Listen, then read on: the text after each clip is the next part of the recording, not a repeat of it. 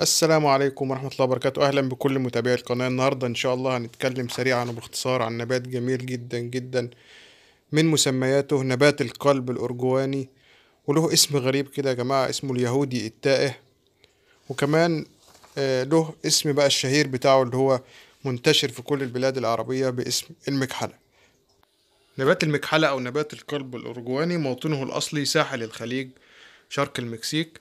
ظهور هذا النبات وردية اللون صغيرة الحجم قصيرة الأجل تزين رأس هذا النبات بطريقة جميلة وجذابة. هذا النبات من أسرع النباتات في عملية التكاثر ينمو بصورة رهيبة. يعني إحنا لو غرسنا فرع أو عقلة في تربة هتجد أنها تتكاثر لوحدها بطريقة رهيبة. النبات ده له معاملة خاصة في فصل الصيف وله معاملة خاصة في فصل الشتاء. في فصل الصيف بيحتاج إلى مكان نصف ظل أو نصف مشمس. وممكن كمان نحطه تحت أشعة الشمس بس بشرط إنها ما تكونش أشعة شمس مباشرة أو أشعة شمس حارقة. النبات ده يا جماعة بيتألق تحت أشعة الشمس.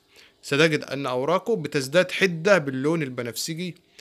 لكن لو حطيناه في مكان نصف ظل أو مكان ظل أوراقه تدريجيا هتتحول إلى اللون الأخضر. آه، بالنسبة للري في فصل الصيف بيروى يا جماعة كل يومين أو ثلاثة أيام. لكن آه، لأن النبات ده محب آه، للماء. بشرط إن التربة بتاعته تكون جيدة التصريف للماء الزائد حتى لا تتعرض الجذور للتعفن. النبات ده ما بيحبش البرودة أو ما بيحبش الصقيع عشان كده له معاملة خاصة في فصل الشتاء. في فصل الشتاء يا جماعة بيحب أشعة الشمس المباشرة لأنه بيتأثر سريعا جدا جدا بالبرودة. يعني.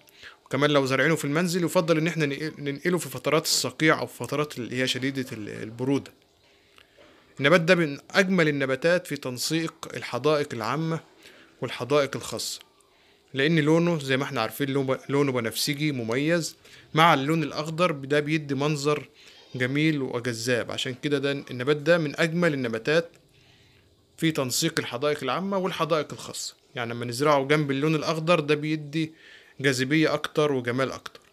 طريقة تكاثر هذا النبات يا جماعة سهلة جدا جدا وزي ما قلنا إن هو نبات سهل الرعاية والعناية خصوصا للناس المبتدئين. كل ما علينا إن إحنا بنقطع أي فرع أو أي عقلة وبنزرعها في آه، آه، تربة مناسبة آه، بيتكاثر بقى بسهولة وبسرعة زي ما قلنا.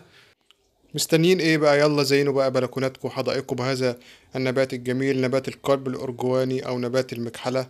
وإلى اللقاء في حلقة جديدة مع نبات جديد. مع قناة بذرة وفسيلة والسلام عليكم ورحمة الله وبركاته.